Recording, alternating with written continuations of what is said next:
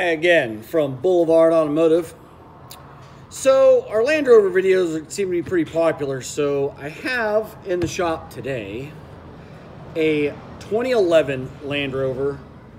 Uh, let's see here, a Rover Sport, Range Rover Sport HSE. It's a non-supercharged. So it's got the five liter engine, no supercharger.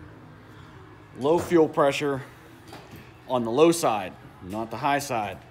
So when doing a fuel pump, we pay for pretty much all access to all information online, uh, Identifix, uh, you know, pretty, pretty much anybody out there, ton of them.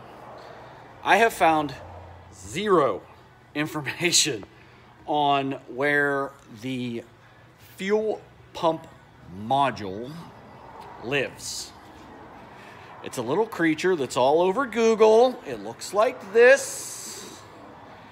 It's from good old FOMOCO.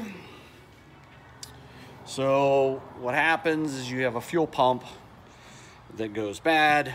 Uh, that control module, all the voltage runs through it, all the controls run through it. So where is it at, right? I don't know, everywhere. Torn a car apart, I got it for you, it's right here. Driver's side, rear, panel. If you look nice and, oh, quiet, you might scare it, it might run away. Here you go, right there. Got it? Okay, good. Go get it.